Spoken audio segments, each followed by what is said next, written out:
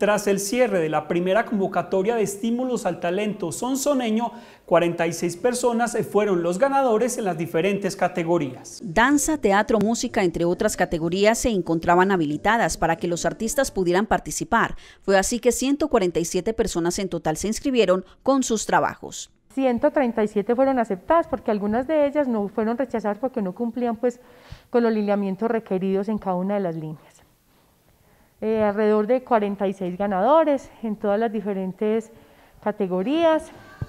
Vemos pues que esto es un estímulo grande para los artistas y que el municipio de Sonsón también fue pues como pionero entre muchos municipios de Antioquia en pensar en invertir pues en este tiempo de crisis digamos donde el sector artístico ha sufrido tanto, entonces cómo esos recursos se invirtieron también para digamos darle algo de aliento y estímulo también a los artistas. Igualmente, varios sonsoneños de los corregimientos del Magdalena Medio también participaron en diferentes categorías. Desde literatura, que teníamos también poesía y cuento. Teníamos desde artes plásticas, había cerámica, había pintura, y había dibujo y fotografía.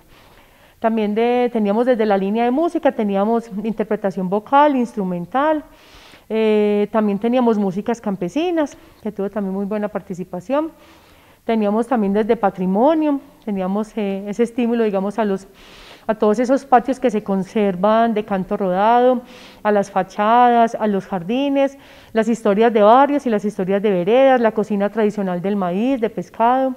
Entonces fueron igual, había también de danza, de repentismo. Entonces fue muy satisfactorio ver pues cómo hubo tan excelente participación y sobre todo el área rural. En el área rural hubo mucha participación en el tema de de conservación del patrimonio. Muchas personas vinieron y nos compartieron sus jardines, también las recetas, algunas fachadas de unas fincas muy bonitas y y bueno, entonces vemos la gran participación del sector rural y el sector y también del Magdalena Medio. Hubo ganadores. También allá nuestros promotores que tenemos aportaron mucho pues para que esto se fuera conociendo, se difundiera. A raíz de la buena acogida de esta primera convocatoria de estímulos al talento sonsoneño, se espera que en los próximos años esta estrategia de impulso artístico y cultural continúe.